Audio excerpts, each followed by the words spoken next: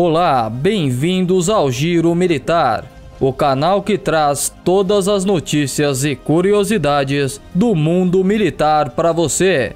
Inscreva-se, deixe seu like e ative o sininho para receber as notificações dos próximos vídeos. OTAN cogita guerra com a Rússia em 20 anos e anuncia maior exercício militar desde a Guerra Fria. O chefe do Comitê Militar da OTAN, Almirante Rob Bauer, afirmou na última quinta-feira que a população civil deve se preparar para o fato de que a guerra poderá eclodir com a Rússia nos próximos 20 anos e que todos devem compreender que a existência pacífica não é um dado adquirido e que por isso precisam se preparar para um conflito com a Rússia.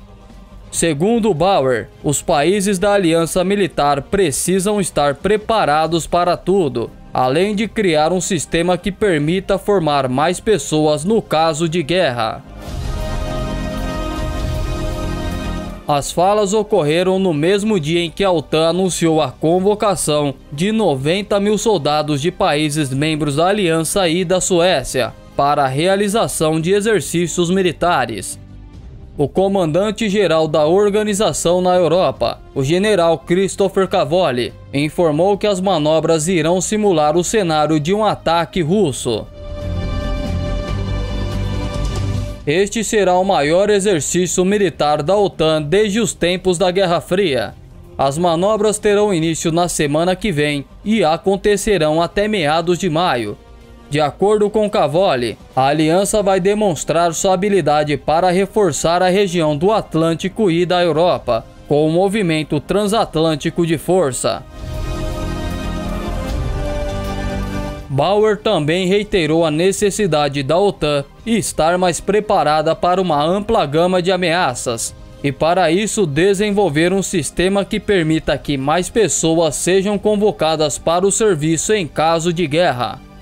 O almirante citou como exemplo declarações das autoridades suecas, que afirmaram que o país precisa se preparar para a guerra de acordo com ele, os outros países da aliança deveriam começar com a constatação de que nem tudo ficará bem nos próximos 20 anos.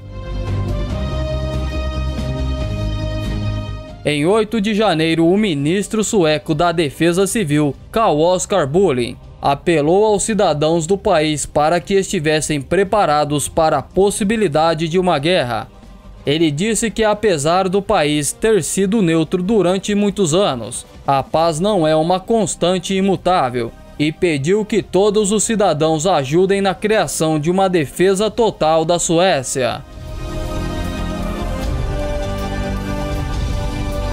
Se gostou do vídeo, deixe seu like e comentário. Eles são muito importantes para o crescimento do canal. Inscreva-se e ative o sino das notificações para receber as próximas notícias do mundo militar. E vida longa ao Giro Militar.